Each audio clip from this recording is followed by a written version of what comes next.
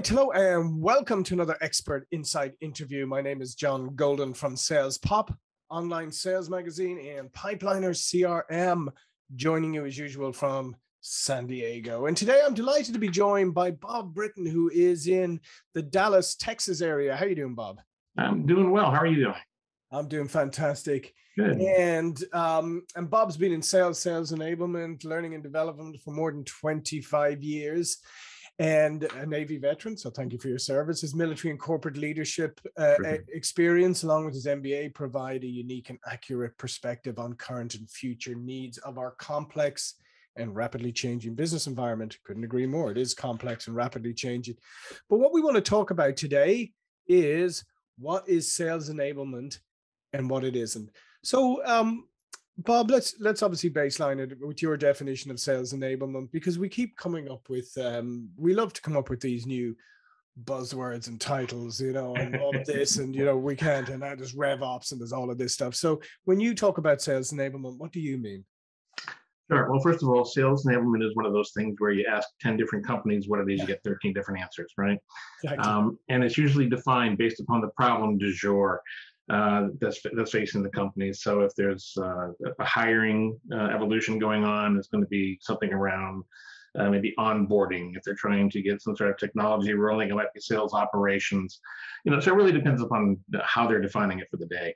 Um, I take a much broader view of it, and here's how I define sales enablement: it's looking for friction, which is impeding top line revenue growth and fixing it. Mm-hmm. There you go. Simple, simple as. Um, so, in terms of uh, friction, Bob, what are the typical types of friction that we see that really impede sales? Sure. Uh, well, first of all, it, every organization is different, so there's nothing that you could actually say is common. Um, and friction also is not only within the org- the selling organization; it's also heavily within the buying organization as well. So sales enablement, and I prefer to actually call it enablement rather than sales enablement, but it's one of those things like Xerox, it just kind of stuck. Yep. You know, so uh, so sales enablement uh, and the places internally where it can come from um, typically it comes from anywhere from the C-suite right on down to even facilities. You have a place to bring your people, especially these days, right? To actually have them uh, do a demonstration or to meet with them. Uh, IT is frequently uh, getting in the way sometimes. The, the Department of No, oftentimes, right? Um, uh, legal, oftentimes you'll have uh, sales that get hung up in legal and red lines. Uh, there's and, and of course in the sellers themselves. Uh, you know, are, are they what's their what's their development as far as their ability to actually sell? Um, are they actually having a conversation, or are they trying to sell? One of the two, right?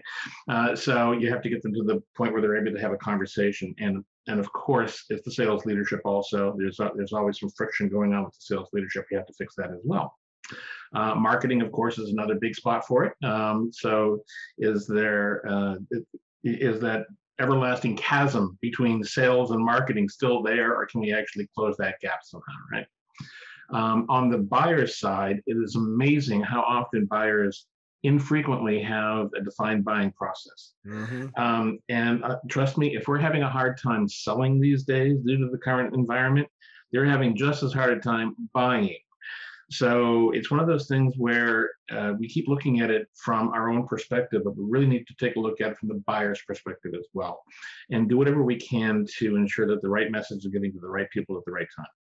Yeah, I, I love that. That was uh, very comprehensive, but I love the the part that you just mentioned about the buying process because we hear people all the time talking about, oh, you got to align with your buyer, with your buyer's buying process, and that's great and it sounds great, and we all try to do that. But to your point, if your buyer doesn't have a buying process or if they're just as as you said just as confused as you are then you can't really align with that confusion or else you just get lots and lots of confusion. That's right. Um, but but i guess that then it really puts the onus on you to really help help your buyers um, you know help your buyers during this process and acknowledge the fact that maybe they're not as organized as you think they might be. Mm-hmm. absolutely it does.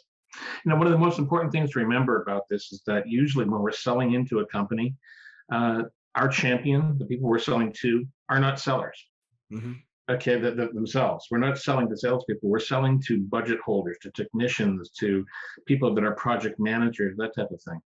Um, and what winds up happening is, I'm sure we've all played the telephone game where you know you sit around in a circle and you tell the person to your right that my cat has fleas and by the time it comes around to you it's my volkswagen has a flat tire. Yeah. something like that right?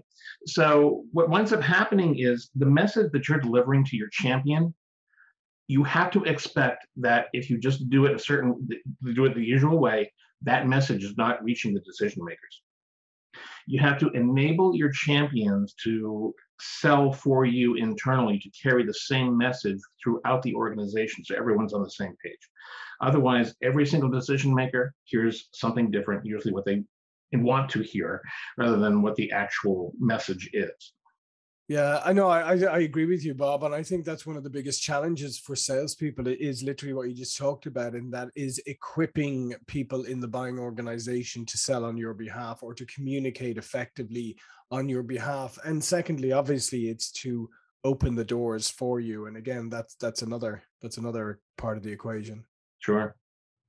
Yeah. So um, today, when you say when people like say, "Oh, sales enablement," all you need is like oh, buy a sales enablement platform, or mm. uh, you know. So this is you know we we we love to put all of these things in buckets like oh there's a technology solution for that but technology doesn't solve process issues and doesn't so, um, solve friction points if you haven't identified them and figured out why they're friction points so it seems to me that we've gone in the wrong direction a lot of times where it's always like oh, let's lead with the technology solution. Yeah, absolutely. The thing to remember about technology is that it's a catalyst. It's not a solution. Mm-hmm. Um, let me back up one step here. If you look at where things are going with Martech and sales tech, uh, just about all of it is geared toward top of the funnel activity. Yep. It's about how do you parse the market? How do you find them? How do you connect with them? How do you have the first meeting or two with them? There's hardly any technology out there that actually is helpful down toward the middle or end of the funnel. So it's it's only going to get you so far. And matter of fact, sometimes it can work so well it can create log jams. Uh, you know, a seller could potentially have hundred meetings set up by you know some sort of technology, and they can only get to a dozen in any given week because they're so busy. You know, so that leaves a lot of people that had the meeting set up hanging, which could actually hurt your brand reputation. So, uh, so again, technology is a catalyst, and the thing about uh, about a catalyst is it simply speeds up whatever was already there. So, if your messaging is spot on and your ability to actually have conversations with people is spot on, technology will amplify that. Mm-hmm. But if it's poor, it's going to amplify that as well, and you're going to broadcast all of your warts to the rest of the world rapidly. You know, so it's a double-edged sword. It can be a boon so long as your basics are correct. But if the basics aren't correct, it's really going to hurt you. Yeah.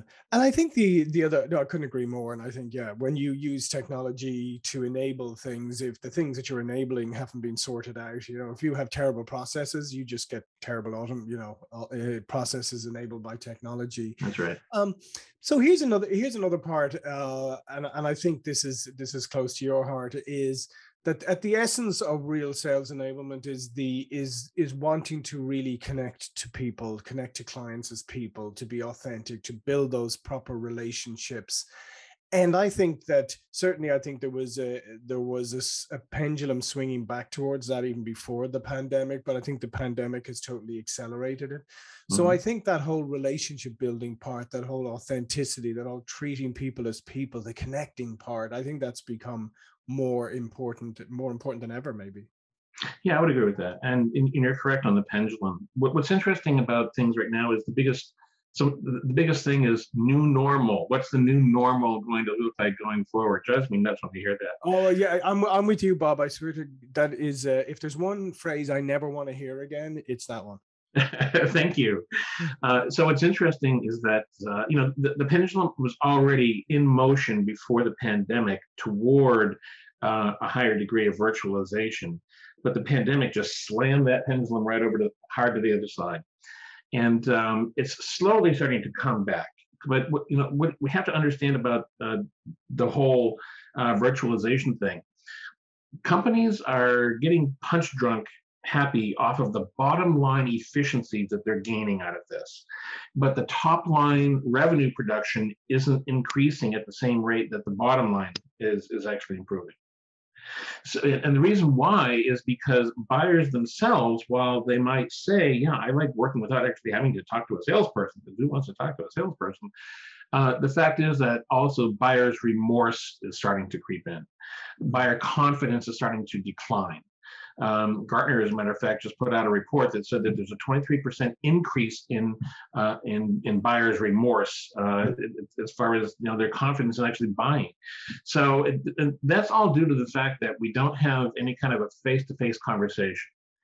Um, you know, when I'm in a sales conversation with somebody face to face, there's a tremendous amount of, you know, I'm looking at, at you right now, John, and I see, you know, the, the, the three quarter high. Mm-hmm. I have no idea what your hands are doing, what your feet are doing, what your body's doing. I have no idea. And there's a tremendous amount of information there that you can actually use. Um, the other thing is just simply the tone of the voice, you know. Uh, and when you're in a room, if you have several people in front of you, you can tell who the leader is because everybody looks to that person. You can't do that when you're on a Brady Bunch screen. They, they don't look at each other to actually find out who the leader is. You don't know exactly who's going to be influencing the conversation. There is a tremendous amount of body language and psychology that goes into sales. And a lot of that has been taken away by the virtualization. Yeah. I, if I remember the Brady Bunch correctly, didn't they look at each other in the different squares? Yeah, for TV they did, but yeah, yeah, yeah. they couldn't see each other. yeah, I know they couldn't see each other, but it was funny. Yeah, maybe we should start doing that when we're in those Zoom blocks, start looking around. That would confuse people. Yeah, we're, we're dating ourselves now, John. Careful. hey, I'm I'm over that. I'm I'm I you know, hey, I, I grew up in pre-internet days. I'm you know, it's to my son, my 16 year old son. I'm a dinosaur from a different uh, era, but that's okay. Uh, um, but it's great. It's a great point you you raised there, and I think the other thing I think that that uh, exacerbated that a little bit uh, was Bob was the fact that I think a lot of salespeople kind of came a little bit kicking, screaming to virtualization in the first place, mm-hmm. or if they were forced upon them during the pandemic, they thought, okay, I got to do this for a couple of weeks. Uh, and then it obviously it it extended out over a long period of time. So I think part of it is that some people didn't learn how to bra- embrace it and use it properly. And therefore yeah. if you're not going back face to face with people any anytime soon or your company's decided that that's not the way to go and and your, maybe your clients that's not the way to go you really do need to embrace this medium and make it work for you as as best you can. Mm-hmm. yeah yeah you do. Um, it, it's amazing how hard it is just to sometimes get people to turn their camera on. Yeah you know that, that so often uh, i'll hear the sales call or i'll sit in with our sellers. That is one nice thing about it. I can now listen to more sales calls without having to be on the road. Yeah. but um, but aside from that just getting the customer sometimes to turn on their camera so you can see their reaction is tough to do right? Mm-hmm. Um, and there's also a lot that you can do to be interactive in this medium. Everything from whiteboarding to taking notes on screen so they can see what it is you're typing, um, letting them actually type into your own screen.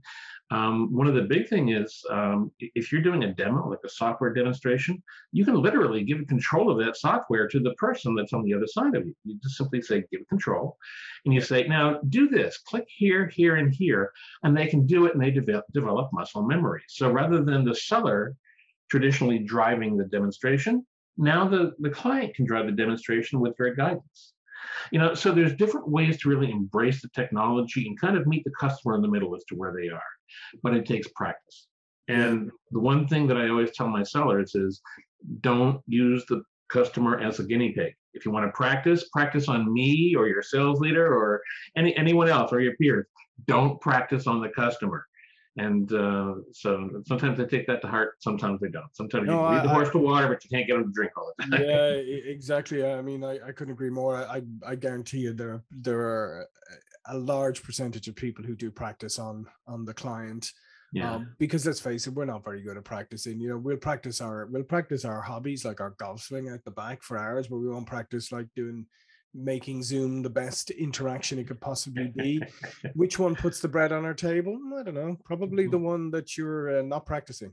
mm-hmm, probably. um. So, so, um, Bob, in the last uh, couple of minutes here, where do you see sales enablement going? Uh, because, as I said, I mean, I keep seeing new things coming out all the time like this. I, I read when there was another acronym yesterday of some other sales related thing that I couldn't even get my head around. But where do you see sales enablement going? Sales enablement is uh, going to continue to grow. Um, right now, it's uh, sequestered frequently into more of a tactical role like program management. Mm-hmm. Um, and it's slowly but surely beginning to be recognized as the tr- strategic impact it can actually have. As complexity grows, uh, complications and complexities as they increase in sales, um, that's what's driving the function, the growth of sales enablement right now at this point in time. Remember that enabling sellers is nothing new. Every company in existence enables their sellers, whether it's teaching them how to sell or giving them a computer or what have you. But sales enablement has only come around since, uh, I'd say, the last 10, 15 years or so. And the reason why is because of that increase in complexity. And it's a function of wrangling that complexity that doesn't exist in most organizations. Um, if the best place to suit, to kind of get yourself seated in an organization, if you're going to be doing sales enablement correctly, think of yourself as the um, uh, the chief of staff for your chief revenue officer. Mm. Okay, think of think of it like that. You want to be the the chief of staff for your CRO or CSO, whatever it is that you have. Um, you want to be their right hand person to go out and actually pull things together for them to coordinate um, a little bit of a generalist, but at the same time also being able to direct and lead and do a little bit of program management. There's going to be a huge growth in that in this, in, in this industry because it's not going to get simpler. It's only going to get more complex. Yeah, and I think uh, that's a, great. Thank you for that, Bob. And I think that's uh, there's great opportunity out there for people. So if you're looking at uh, if you're looking at doing the old Wayne Gretzky, uh, you know, skate to where you think the puck is going to be, mm-hmm um, maybe you should start looking at the role that Bob just outlined there because uh, that role of grown importance, those jobs will grow. It's a, it's a, it's an interesting role if you're that kind of person who likes being a kind of generalist and across a lot of different things. Um, you know, it sounds like a sounds like there'll be great opportunities.